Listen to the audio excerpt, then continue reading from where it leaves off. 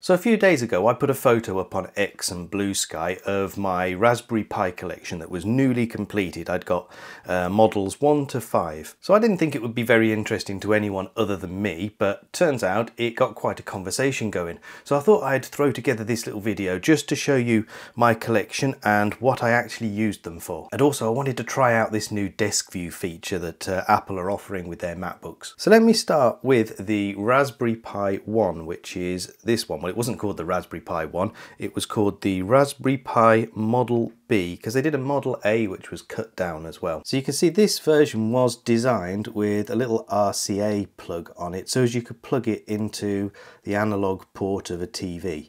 Uh, it does also have an HDMI port there too. So I purchased this used it a few times. I think might have tried to run an emulator on it for like old Sega games and that sort of thing.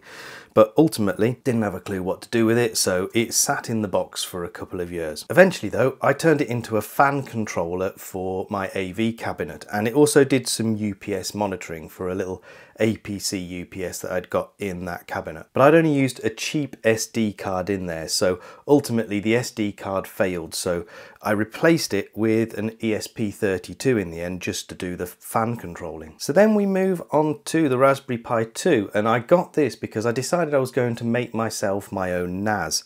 Uh, this was going to be like a backup server for my main NAS. I put a two terabyte hard drive inside a case and then glued it in there and you can see this sticky pad on there where that was actually stuck to the roof of the case. So it was quite slow but it did work so it was functional and I carried on using that right up until the hard drive died in the case just started making those weird clicking noises. And now the Raspberry Pi 3 now this is where things started to get really serious serious for me because this was my first home automation server. I was running a bit of software called Domoticz which is quite good for beginners actually uh, but it is a bit limited in functionality which is why I moved on to Home Assistant.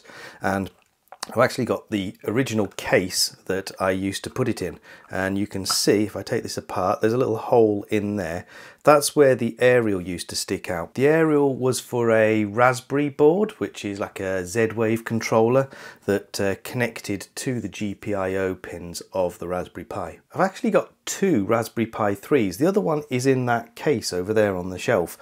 I've no idea why I bought two of them I, I don't know I must have had a reason at the time. So because I was using an ESP32 to control the fan in the AV cabinet, I still needed something else to control the UPS or, or monitor the UPS. And that's why I bought this, which is a Pi Zero. It's inside this case. I'll open it up now. Can't open it. No. Mm. There we go there is the Pi Zero. Let me focus in on that.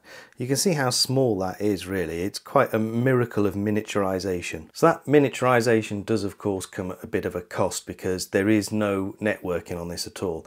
You can get the Zero W which has got wireless built in, but for this one you have to plug in an external Ethernet adapter in the USB port. But ultimately I've got rid of that UPS now I've got home batteries so this is just sitting there doing nothing waiting for a museum to collect it, I guess, or for me to find another use. So eventually I started to outgrow Domoticz and I moved to Home Assistant. And to run Home Assistant, I used a Raspberry Pi 4.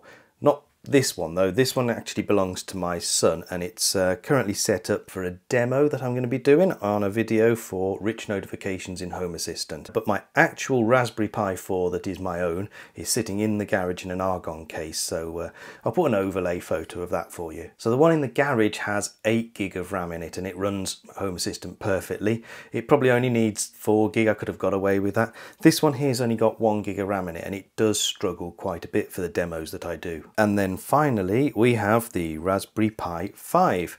Now this is the latest and greatest in their lineup and honestly I have no idea what I'm going to do with this yet. I think in the first instance it's going to replace my Raspberry Pi 4 as a test Pi for demos uh, but ultimately I'll probably replace the Pi 4 in the garage with this one because it's just a lot more powerful. I haven't even powered this on yet actually. Actually that's a point. This could be a totally dead one.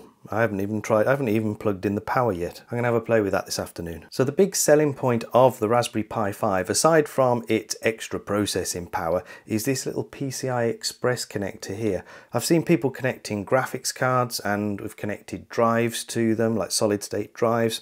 So you've got a lot more flexibility in what you can do with the Pi 5. Anyway, I hope you liked that little overview. If you did, then like and subscribe for free and check out membership options and all of the usual standard YouTube terms and conditions sort of things. Thank you for watching. Goodbye.